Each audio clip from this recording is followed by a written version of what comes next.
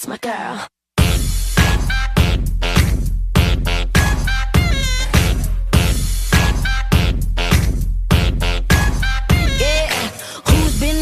so damn hard you got that head on overload. Got yourself this.